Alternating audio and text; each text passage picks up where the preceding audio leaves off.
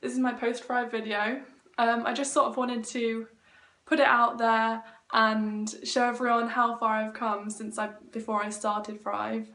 Um, so I went on the Thrive programme to help with my emetophobia and I can 100% say I'm not emetophobic anymore, I'm just like a normal person and it's so good. Um, I've got some examples of things that I wouldn't do before Thrive and what's happened since. So the first thing, I went on a plane twice. Um, before Thrive, well, when my emetophobia sort of was really bad, I wouldn't have even dreamed of going on a plane. It was at, it was just a nightmare thinking about it for me. I got all sweaty and hot and heart went fast and it just completely filled me with nerves. But since Thrive, I've been on a plane twice. I've tried new foods. I've eaten salmon, I've eaten olives, I've eaten foods that weren't sort of on my safe foods list. Um, a big one, I've drank alcohol. I have drank alcohol in the past, but I always was wary and I hadn't drank it for around six months um, until recently and I wasn't worried it was going to make me sick. I just had a little little bit of prosecco and I it didn't even cross my mind. Um, so I'm completely managing my thinking now. I don't worry about stupid things and if I get like an unhelpful thought or something I just think well why am I thinking this? This isn't helping me just chuck it in the bin or even better, change it for a more helpful thought.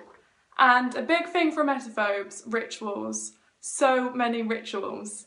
And now, none of them. So, right now, I don't always carry hand sanitizer.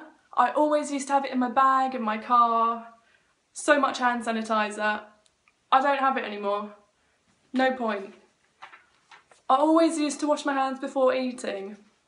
Don't do that anymore. Avoided seafood. Well, you know what I should do?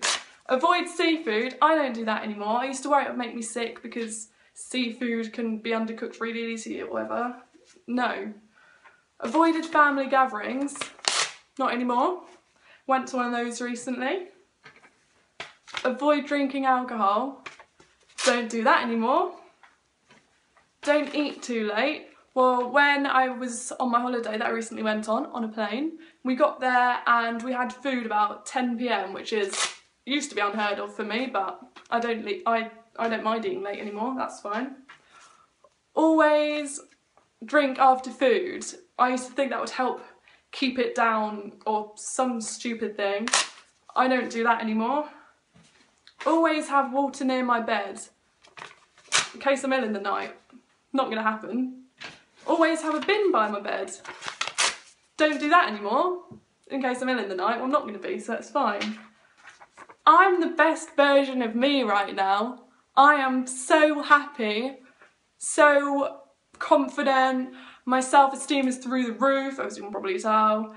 I'm not insecure about myself, I've got no social anxiety, I'm never embarrassed anymore and I am thriving, completely and utterly thriving. So thank you Thrive and thank you Fiona so much. I am thriving.